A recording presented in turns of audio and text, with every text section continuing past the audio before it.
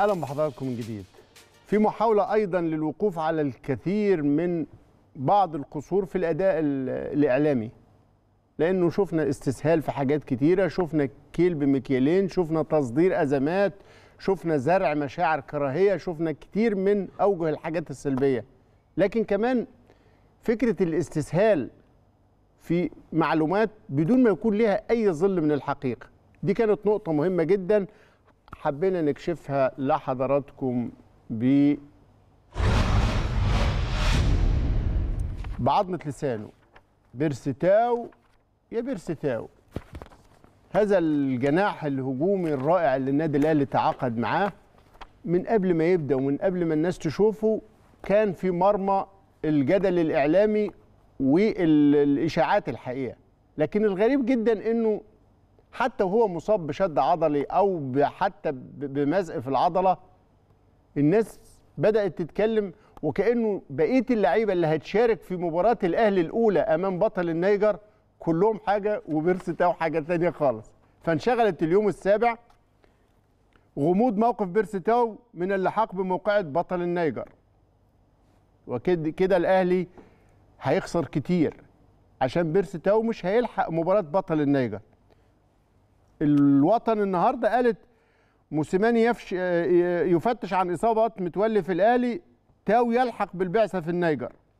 وبتأكد إن الوطن إنه مصدر في الاهلي أكد لهم إن بيرسي تاو لاعب الاهلي سيكون جاهزا ده عكس اليوم السابع سيكون جاهزا للسفر مع الفريق لرحلة النيجر لمواجهة فريق الحرس الوطني اللي هتقام منتصف أكتوبر بعد التخلص من الإصابة التي ضربته في الفترة الماضية في العضلة الضمة والبعثة هتسافر 11 أكتوبر. يعني اليوم السابع فيه غموض إنه بيرسي تاو مش هيلحق مباراة بطل النيجر والوطن بيقول لك لا إن شاء الله هيلحق والإصابة بيتعافى منها. والحقيقة فين؟ إن بيرسي تاو ما ينفعش يلعب لا ضد بطل النيجر ولا في هذا الدور أصلا لأنه مش مسجل في قائمة الأهلي الأفريقية لهذا الدور.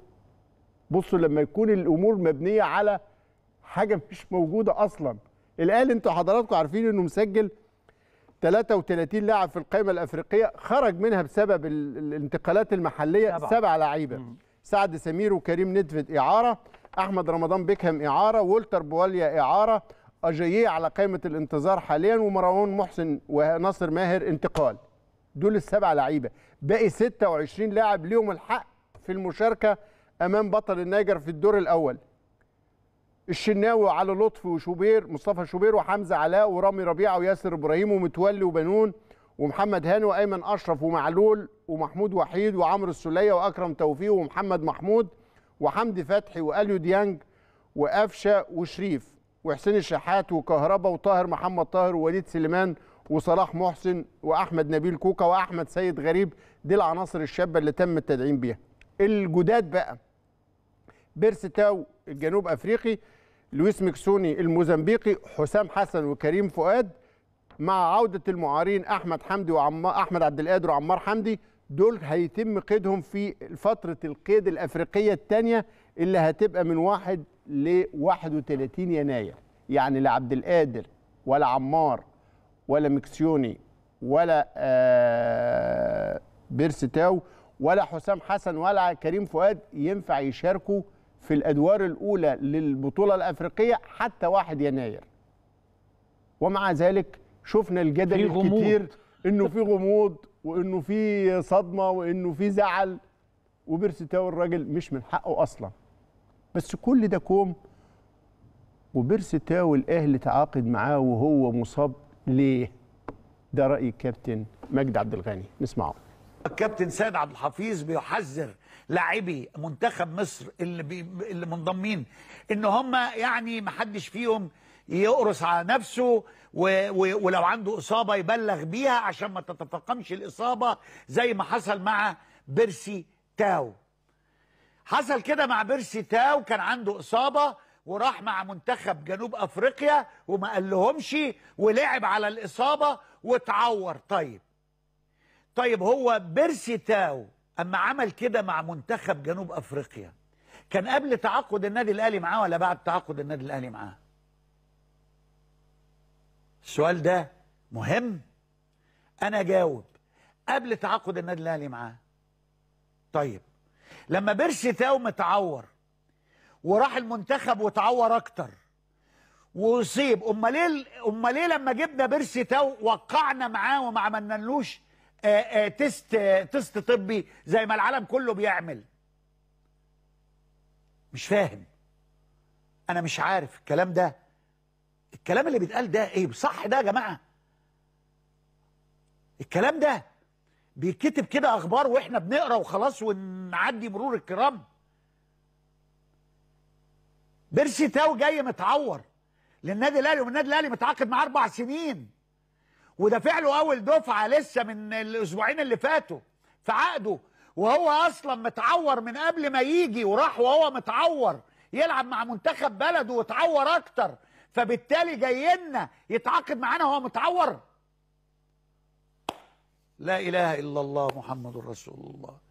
أنا مش عارف لجان إيه اللي بتشتغل وناس إيه اللي بتتعاقد وفلوس إيه اللي بتدفع ولا حول ولا قوة إلا بالله. ولك الله يا مصر. الاستاذ آه، آه، كابتن مجدي سأل أسئلة مهمة. قال إزاي بتتعاقد مع اللعيب وهو متعور؟ وهو أنت تعاقدت معاه الأول وتعور بعد كده ولا اتعور بعد ما تعاقدت معاه؟ ولكن قال أنا هجاوب أنا. وقال إن عنده يبدو معلومة إنه لا ده هو اتعور آه، قبل ما نتعاقد معاه. فليه ما تعملوش كشف هو؟ الحقيقة الكابتن مجدي الراجل ضرب كف بكف ولا حول ولا قوة إلا بالله وإزاي ده يحصل؟ وهو عنده حق والله. إزاي ده يحصل؟ وإزاي خبر زي كده يتكتب ويتقري كده من غير ما حد يستوثق منه؟ يا كابتن مجدي علشان نستوثق منه بيرسي تاو تعاقد معاه النادي الأهلي وأعلن قرار التعاقد الرسمي معاه على الموقع الرسمي للنادي الأهلي يوم 26 8 يا ريت نشوف صورة خبر تعاقد الأهلي مع بيرسي تاو مش صورته الراجل وهو في الجيم. ده تعاقد الأهلي مع بيرسي تاو على الموقع الرسمي للنادي الأهلي يوم كام يا كابتن مجدي يوم 26 8 أنا بقول لك عشان كده لازم نقول لا حول ولا قوة إلا بالله. بجد. يوم 26 8 الأهلي أعلن رسميا عن التعاقد مع بيرسي تاو لاربع سنوات. عمل الكشوفات الطبية الكاملة. سلامته كانت 100% لكن هو إزاي لعب مع جنوب أفريقيا وجالك مصاب؟ هو لعب مع جنوب أفريقيا يا كابتن. عشان لما أقول لك الأخبار بتعدي كده ده أنت بتقول إزاي بتقروا الأخبار دي ومحدش بيركز. أنا عايزك فعلا نركز مع بعض. 26 أغسطس جت الأول وبعد كده جت 3 9 ولا 3 9 بتيجي قبل 26 8 مباراة جنوب أفريقيا الأولى مع زيمبابوي كانت يوم 3 9 ودي لعيبه بالكامل. ولعبها بالكامل. لعب كمان مباراة 6 9 اللي اتعور فيه اللي كانت مع منتخب غانا وسجل هدف ألغاء الحكم. جاله شد الدكتور بتاع المنتخب الجنوب أفريقيا اداله حقنة بلازما عشان يلعب. بس 26 8 كان هو في النادي الأهلي. وبالمناسبة بقى ما دام 26 8 تأكدنا إنها بتيجي قبل 3 9 و3 9 بتيجي قبل 6 9 الحدوتة كلها الدكتور أحمد أبو عبلة كطبيب وهو المختص بعملية الكشف الطبي وحالة بيرسي تاو نفكركم بيه. يعني ما فيش صفقة بتدخل الأهلي غير لما بنكون واثقين تماما طبيا إن هي ممتازة وإن هي ما عندهاش أي مشاكل طبية خالص. آه، بيرسي تاو آه، يعني اللي أنا عايز أقوله إن هو مش آه، مش إصابة مزمنة مش إصابة قديمة مش إصابة هت هتسيب أثار بعد كده خالص خالص. دي إصابة زي زي أي إصابة عضلية. آه، كان مع المنتخب في التمرينة اللي هي قبل أول مباراة تقريبا كانت يوم 2 9 آه، شعر ببعض الألام في العضلة الضامه في الرجل اليمين.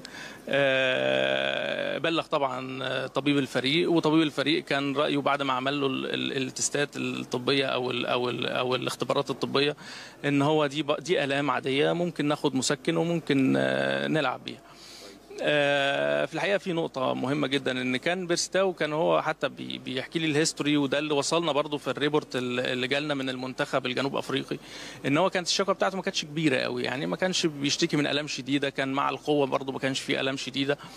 فده اللي خلى يعني التعامل معاه كان يبقى بالصورة دي إن إحنا ناخد مسكن ونقدر نلعب المباراة الأولى. آه، نزل لعب المباراة الأولى لعب تقريبا 60 دقيقة. آه، كان يعني كان كويس ما اشتكاش بعدها. نزل لعب المباراة الثانية كان حوالي 70 دقيقة.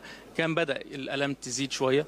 آه، بعد ما وصل لنا بقى هنا بعد بعد التوقف بتاع المنتخب بدأنا نعمل بقى إحنا الفحوصات الطبية بتاعتنا وبدأنا نعمل الاشعاعات اللي هي ما قبل آه، آه، آه، اعتماد آه اعتماد التعاقد. واللي أنا عايز أقوله برضو إن بيبقى في شرط من شروط التعاقد إن هو لا يفعل إلا بعد اجتياز الاختبار الطبي. ده مهم جدا يعني. وده بيدينا آه وده بيدينا راحة كويسة جدا إن إحنا بنعمل كل حاجة وبيبقى يعني رأينا في الآخر مهم جدا جدا يعني. آه بعد ما عملنا الفحوصات بتاعته تبين بقى طبعا إن في آه يعني زي مزق خفيف في العضلة الضمة. كان في بعض التجمعات البسيطة بحيث برضو إن هو لعب عليها آه آه لعب عليها الفترة اللي فاتت. آه، برضو اللي إحنا عايزين نقوله لعب يعني كان عنده إصابة ولعب بيها. طيب هو دي إصابة تكون يعني مزمنة أو إصابة شديدة أو كلام؟ لا خالص خالص. آه، النهارده لا بدأ جري في الملعب. النهارده كان في شغل بالعجلة. هيبقى في تطور يومي. طبعا شفناه بالسونار قبل ما نيجي ال- المعسكر وكانت أمور الالتئام بتاع العضلة ممتازة فوق الممتازة كمان يعني على غير المتوقع خالص. فده إن شاء الله يخلينا حتى أسرع في البرنامج ال- التأهيلي بتاعه. ويعني أنا عايز أقول لك إن المتوقع إن شاء الله يا رب إن شاء الله خلال أسبوعين كده ممكن نشوف أخبار كويسة ونلاقيه معانا في التدريبات. إن شاء الله إن شاء الله بإذن الله. هو أهم شيء في الموضوع يعني إنه اتكشف عليه طبيا قبل ما يروح يلعب في جنوب أفريقيا. وتأك... ات- الجهاز الطبي قال إحنا متأكدين من سلامته. لكن هي إيه نوع الإصابة؟ ما هو هل هي إصابة مخيفة يعني. الضمة دي بتيجي زي دور البرد. ما انت ممكن يجي لك دور برد. هتقول جبته ليه هو عنده دور برد؟ الفكرة إن جات له شد جاله إصابة. آه، بعد ما ما ما, ما اتكشف عليه طبي وتعاقد جاله إصابة. لكن الإصابة ما هياش الإصابة المزعجة ولا الإصابة اللي تخوف. وبإذن الله هيرجع تاني. وأهم حاجة أهم من كل ده انه المردود الفني بتاعه يكون زي ما إحنا متوقعين. والحقيقة الجديد إن الجهاز الطبي بيأكد إنه لا بيرسي تاو قطع شوط كبير في استعادة لياقته وفي شفائه. وربما بشكل زي ما يمكن الفيديو ده الدكتور أحمد أبو عبلة كان قايله من خمس ست أيام أو الأسبوع اللي فات. المدة بقت أقصر لأنه استجابته ودرجة تعافيه بقت أسرع. فإن شاء الله هتشوفوا لعيب كبير يدعم فريق الأهلي بخطورة شديدة جدا. ده جانب من تدريبات آه، بيرسي تاو في النادي. في تنفيذ البرنامج التأهيلي الخاص بيه اللي إحنا أوضحنا للكابتن مجدي إن 26 8 جت قبل 3 9 بشكل واضح وصريح. لكن واضح إن حتى الناس لما اتكلمت إنه الكابتن سيد بيقول للعيبة اللي راحوا المنتخب محدش يقرص على نفسه لو عنده أي إصابة هو شايف وعارف إنه اللعيبة في رغبتها إنها تكون مشاركة في المنتخب لو حد عنده شد أو ما بوادر شد. تخبيهوش ما آه تخبيهوش. لأنك هتلعب خلاص دخلنا في حالة مزق ودخلنا في درجات أصعب في الإصابة. فبالتالي كل واحد يخاف على نفسه ويكون صريح مع الجهاز الطبي في درجة الجاهزية حتى بتاعته. المرة دي لما جم يستدعوا بيرسيساو. الجهاز الفني الطبي بتاعنا تواصل هناك وبعت لهم من التقرير ما يثبت لا ما تاخدوهوش دلوقتي والناس استجابت يعني. آه.